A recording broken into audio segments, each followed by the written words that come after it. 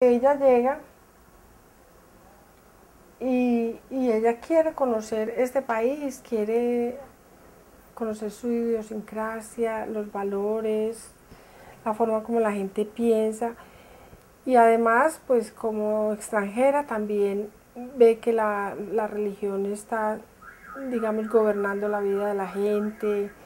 que, eh, que la iglesia misma tiene un poder enorme, que los políticos son pues son como desproporcionados y, figuras públicas muy particulares. Entonces, no sé si una crítica, pero desde una mirada externa, pues ella lo puede ver de otra manera distinta. Entonces la obra de ella nunca puede ir a la par con la de esos, con la de esos artistas de Medellín en ese momento, porque tienen intereses y visiones diferentes. Yo creo que Ethel es muy humilde, una persona muy humilde en el sentido de que ella nunca llegó acá haciendo alardes de que ya venía con una maestría, que tenía experiencia, que había viajado. Ella se hace pasar como quien dice, si no, casi si no supiera pintar y empieza como a, pintar los pueblos, a viajar a los pueblos, a,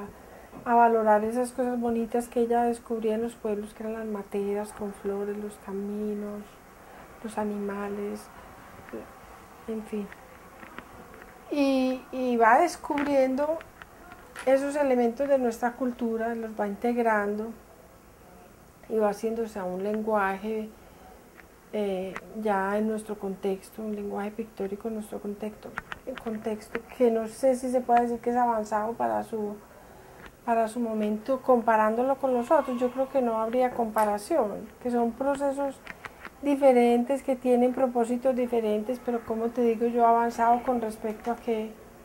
Pero ella es, a mi modo de ver, es pionera en esa, en esa actitud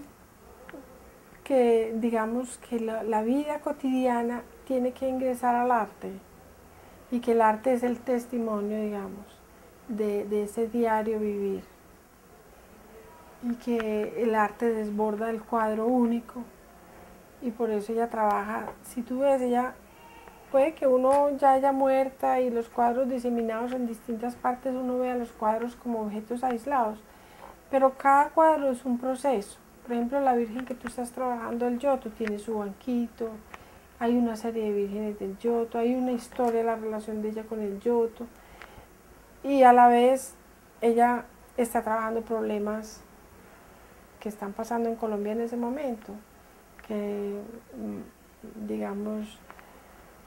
problemas de,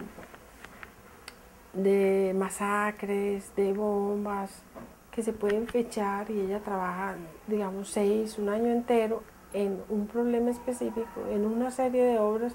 cuando, y las concibe para una exposición, cuando llega a la exposición ella incluye objetos,